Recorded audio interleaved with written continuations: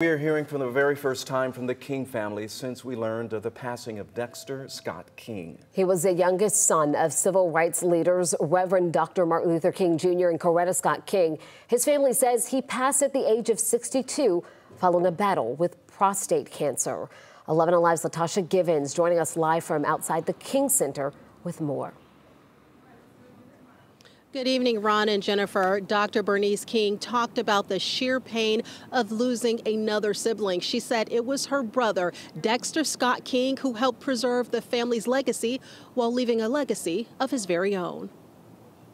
When it came time to decide who would succeed my mother um, at the King Center, we kind of all looked at Dexter and said, It falls on you. Dexter Scott King served as the longtime chairman of the King Center until his passing.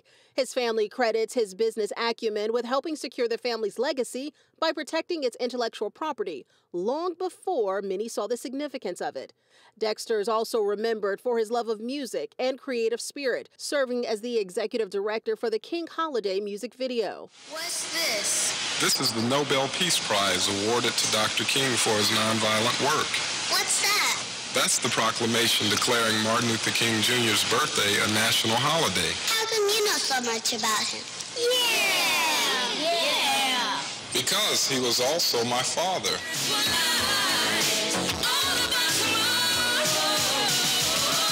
The video just one example of his big vision. And now, among the memories his family cherishes in the midst of their grief. This is perhaps the hardest thing for me to do.